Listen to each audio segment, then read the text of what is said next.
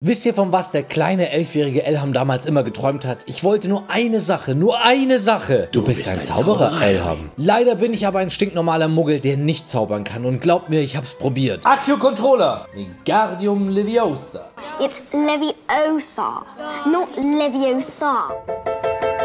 Engorgio.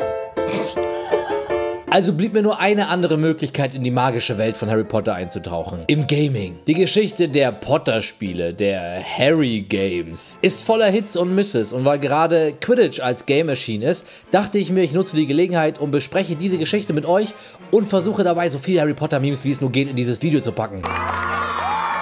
Natürlich nur, wenn sie einfallen und ins Video passen. Also, lasst uns starten. Challenge accepted. Nicht bummeln. Und wir beginnen unsere Reise im Jahr 2001.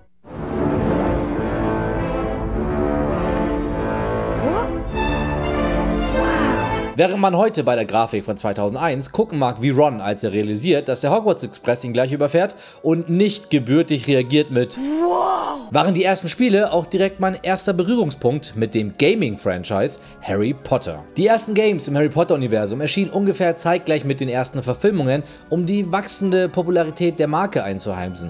Immerhin war Harry Potter eine echte Schatzgrube. Nicht nur Harry Potter and the Philosopher's Stone und Harry Potter and the Chamber of Secrets erschienen 2001 und 2002, sondern auch Lego Creator Harry Potter und Lego Creator Harry Potter and the Chamber of Secrets. Ja, Lego Games gibt es schon so lange. Das erste Harry Potter Spiel erschien für die Playstation, Kammer des Schreckens dann für Playstation, Playstation 2, Xbox und Gamecube. Trotz der eher mäßigen Reviews für das erste Spiel verkaufte sich Teil 1 insgesamt über 11 Millionen Mal. Was für ein Spiel damals echt stark war und auch lange ungeschlagen bleiben sollte für Harry Potter Games. 2003 folgte dann erstmals Quidditch. Quidditch ist nicht schwer zu verstehen. Jedes Team hat sieben Spieler.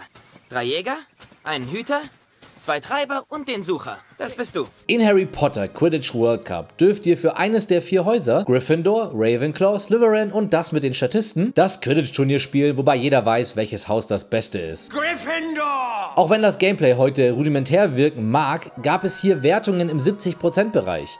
Jedoch war Quidditch World Cup wohl so nischig, dass es die geringsten Verkaufszahlen bis zu diesem Zeitpunkt erreichte. Auch die Folgejahre mit Prison of Azkaban oder Goblet of Fire konnten nicht wirklich abheben. Mit nur etwa 2 Millionen verkauften Einheiten im Gegensatz zu den über 11 und über 7 Millionen für Teil 1 und Teil 2 wirkte es so, als wäre das Gaming Harry Potter Franchise auf denselben Weg wie Cedric Diggory. Mit den nächsten Teilen, also Orden des Phönix im Jahr 2007, Halbblutprinz 2009, Heiligtümer des Todes Part 1 2010 und Part 2 2011, konnte der Erfolg nicht weitergetragen werden. Die sinkenden Verkaufszahlen und Wertungen beweisten, dass das Gameplay einfach zu langweilig war. Es wirkte so, als könnte kein Studio den Besuch in Hogwarts School of Witchcraft and Wizardry wirklich spannend gestalten. Die Lego-Spiele in derselben Zeit, also Lego Harry Potter Years 1 to 4 und Lego Harry Potter Years 5 to 7, verkauften sich häufiger als die Mainline-Spiele, was schon wirklich ein Indiz für das fallende Interesse der Games war. Also wurde es lange Zeit still bis ein Spiel angekündigt wurde, das alles ändern sollte. Der vermeintliche Auserwählte. Aber ich bin der Auserwählte. Hogwarts Legacy stellte mit 24 Millionen verkauften Einheiten den Bestseller unter den Spielen der Harry Potter Marke dar. Und das zu Recht. Endlich mal ein Spiel, bei dem man Hogwarts besuchen, Zauber lernen kann und erlebt, wie es ist, ein Schüler zu sein in dieser magischen Welt. Trotz des Aufrufs zum Boykott aufgrund diverser Aussagen Rowlings, die für viele Menschen wie ein Schlag ins Gesicht waren, verkaufte sich das Spiel wie der Wahnsinn und veranlasste Warner Bros. direkt dazu, ein Sequel zu planen. Die würden allerdings nie was machen, was den Erfolg des Spiels als Singleplayer-RPG ruinieren würde, oder? Die Möglichkeit eines Live-Service Hogwarts Legacy löst in mir nur Angst, Potter. Das wäre fast so dumm, wie als Lucius Malfoy den verdammten Avada Kedavra Fluch auslösen will, im zweiten Teil direkt vor Dumbledores Büro. Habt ihr das schon mal realisiert?